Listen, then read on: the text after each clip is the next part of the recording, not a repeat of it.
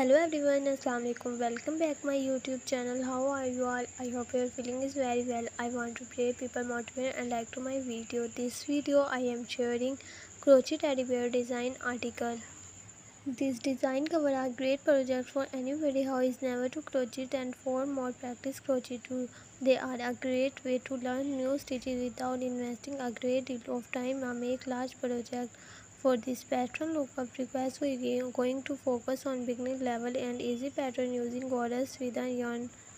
This little teddy bear has so much personality such as the customized in a suitable animation, the one or show designed as a Valentine teddy bear For someone you love at any time of year. the little red teddy bear in the ears of the feet almost cute as the optional blush added to the cheeks. Crochet teddy bear service in the various color of the neck and even occurred. Teddy bear are the classic gift that can brighten anybody's day.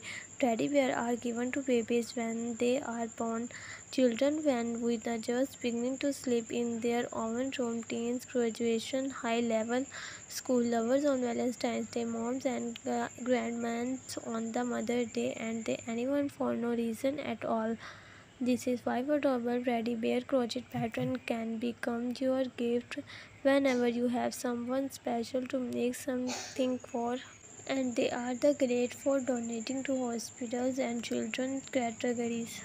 Make a tiny little crochet teddy bear that work up quickly and can go to your everybody. It's so find the cool turn into kitchen, desktop, decor or a baby toy.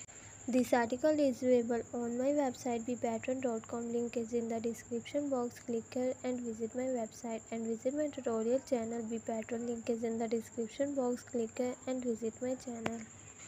This is amazing collection for you if you want more ideas and more crochet pattern. Thank you so much guys for watching this video. I hope this video very amazing and helpful for you. So friends subscribe my YouTube channel and press the bell icon button. You will see new and latest update.